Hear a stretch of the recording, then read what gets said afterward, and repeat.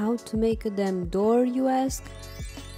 Or maybe you didn't, but here you are anyway, so might as well. Start with a cube. Because every masterpiece starts with a cube.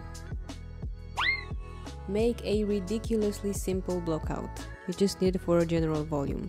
Let's start with something simple, like a door plank. Block it out, add a few cracks, junk it up a little, we don't like straight things over here.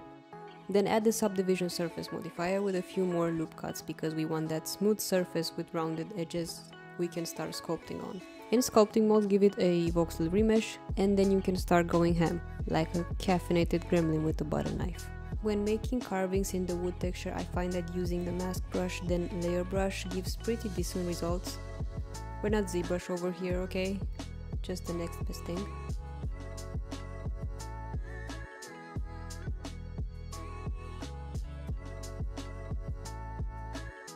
And right here I am cheating by using some stylized wood brushes, link in my description.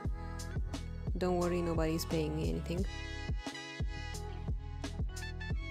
If you want to create the wood striations yourself though, I would recommend using the clay brush with rounded profile.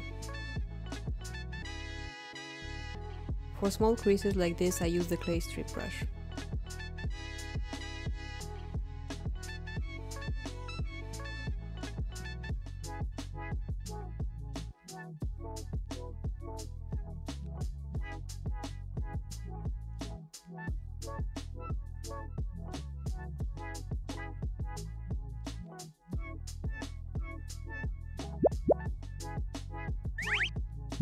I boolean that hole.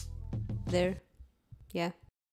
So I can add this cute little window into the nothingness behind. Gotta have a door frame to hold the thing in place, you know. Essential door anatomy. Make it believable.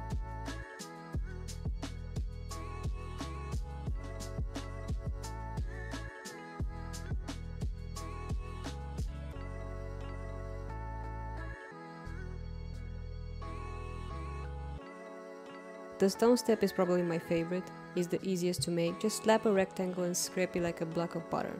This is actually the brush I use the most when sculpting and it's actually the scrape brush, but it's customized so that it's similar to the planer brush from ZBrush. I will leave the settings on the screen for you, cause I like it.